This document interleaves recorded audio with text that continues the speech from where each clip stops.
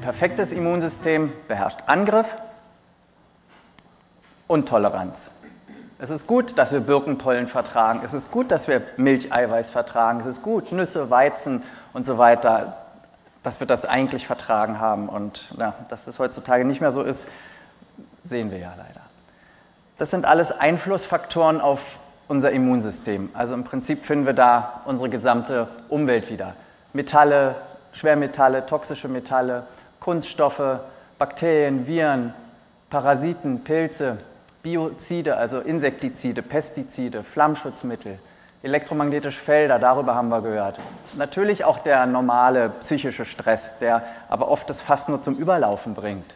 Die Ernährung, über die wir viel gehört haben, ganz wichtig fürs Immunsystem. Aber auch Merkaptane und Thioether, die Giftstoffe aus den Wurzelkanal gefüllten Zähnen. Das alles macht, macht was in uns, macht eine Reaktion im, im System und natürlich auch mit unserem Immunsystem. Und es kann es aktivieren, das Immunsystem. Es kann zu einer chronischen Immunaktivierung kommen und zu einer stummen Entzündung, zur sogenannten Silent Inflammation. Akute Infektionen kennen wir alle, die können wir im Labor auch messen, CRP, Blutsenkung, Leukozyten.